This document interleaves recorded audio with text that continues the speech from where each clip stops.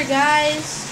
And as you can hear, that there's water running because I went to Crazy Pin store a few days ago. And I got, there's this Cranewish plant, that thing where it's like a box. And then there's like a little claw thing that goes down and just grabs stuff, but it never does it. What? It never, it never does. It's not full!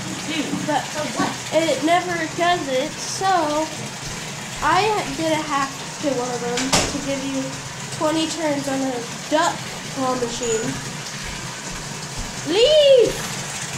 You might want to just start that over. And I got as many ducks as I possibly could, which rounded up, which rounded up to about one, maybe 150. I don't know, but I gave most of them out to little kids at Crazy Pin, so and now I just have a few more left. But here they are, all the ducks that I have left.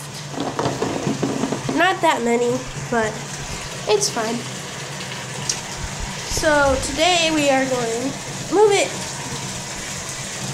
Today we're gonna put all these.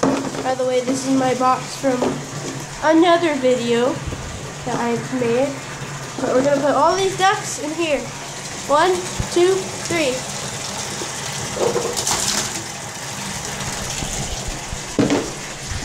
Okay, hope you enjoyed the video. Bye!